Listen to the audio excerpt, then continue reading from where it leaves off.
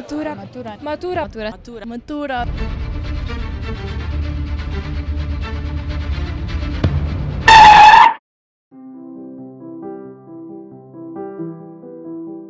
Glede mature bo še ogromno enih nasvetov in napotkov.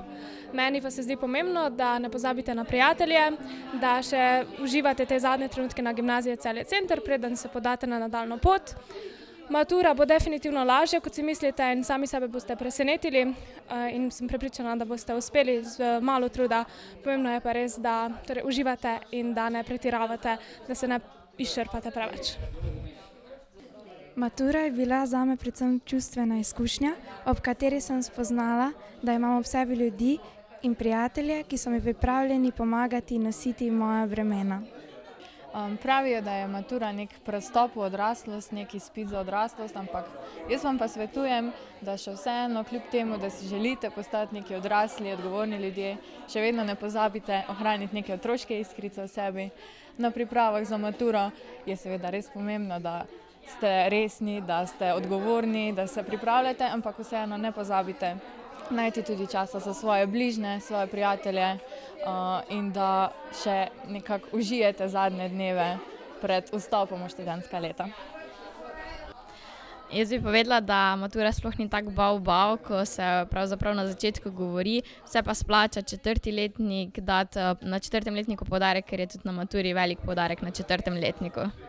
Želimo vam povedati, da matura ni noben bambav. Uh, bolj kot ste sproščeni, boljše je, pa uživajte še zadnje leto na GCC. Srečno. Matura je bila za me nek nov izziv. Eh, V učenje sem vložila veliko časa in pa truda, kar pa se je na koncu seveda tudi, tudi obrestovalo. Um, vse zahvala pa gre tudi učiteljem in pa ravnatelju, ki so nas spodbujali um, in verjeli v nas tudi takrat, ko sami nismo bili zmožni. Um, matura ni bila tako težka, kot uh, sem pričakovala. Uh, pripravljati, pripravljati se je treba v bistvu skozi vsa štiri leta, poslušati, slediti urami, uram in pouku. Uh, v bistvu uh, izkoristiti je treba vse čas v šoli. Um, Ampak panika pa ni potrebna. ne, Dosti- to pa dosti definitivno. časa je, da se pripraviš, da um, ponoviš so snov, da se umiriš, pa da pač narediš to, kar pač najbolje, kar zmoriš. Ja. Poklicna matura ni težka, Eh, ni težka, je pa zelo naporna. Um, še posebej zato, ker ne veš, kaj pričakuješ, oziroma kaj pričakuje ric od tebe. Ampak se vse da, vse gre. Na maturo smo bili dobro pripravljeni, kar je bil rezultat štiriletnega dela. Tako imenovana nova realnost pa nas je prisilila, da smo obrali nov pristop k šolskemu delu.